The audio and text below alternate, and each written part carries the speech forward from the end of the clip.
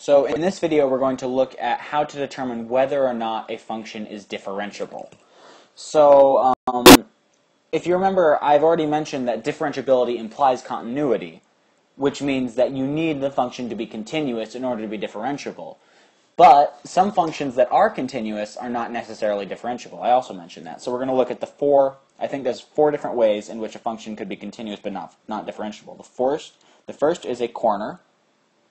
So this you might, that would be, I suppose, the negative of the absolute value of x would be that function.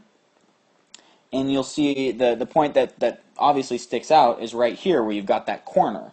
It's not differentiable, even though it's continuous. What, I mean, I've already mentioned that there's, it's just, you could draw lots of different tangent lines at that point that only touch it once, but aren't necessarily the right one.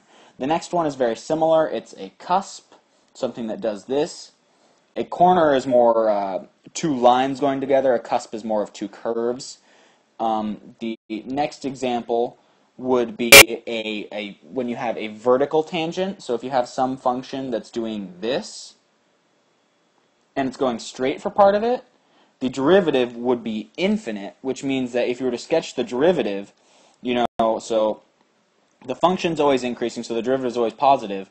But as you get to that point, the function, the derivative would have to go to positive infinity, and then it would have to come back down, which would make it non-continuous, which means that that function is not differentiable. If the derivative is non-continuous, then that function, then the original function is not it's not differentiable. Excuse me. Um, and then the final example is a one that we've already talked about, which is a discontinuity. If it's discontinuous, it's not differentiable. So, I mean, sorry, uh, if you've got this function, that is not differentiable because uh, there's you just you can't be discontinuous and differentiable at the same time. All right, so uh, let's get rid of that. And now um, you might have noticed that most of these functions are all piecewise functions, which means it's not just one function because obviously, you know, a sine or a cosine or an exponential is not going to make that weird cusp or anything like that. But let's say you had a piecewise function such as, you know, y equals x squared um, for all x, for when x is less than or equal to 1 and y is equal to x when x is uh, greater than 1. So if you were to graph that function, you'd do y equals x squared up until x. So let's do that's x. So that's at the point 1, 1 because, so we'll call that y1, y2, and then those combine to make y. So y1 of 1 equals 1. And then y2 of 1 equals 1. So obviously they meet, and then the next criteria, so that implies that they're continuous because these two points are equal. At the point where there is the discontinuity, you have continuity, or the point where the, the x's are discontinuous, you still have a continuous y value.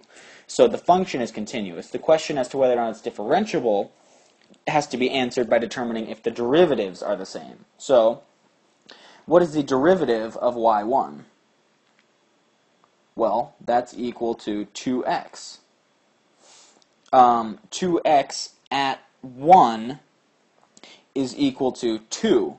However, the derivative of y2 is equal to 1, which at the point 1 is equal to 1. So the derivatives are not equal. That, uh, that function, the first part of it has a slope of 2, but then the next part of it only has a slope of 1, so it continues off kind of like that. Hard to draw, but you'll see that the points meet, but the slopes are not the same.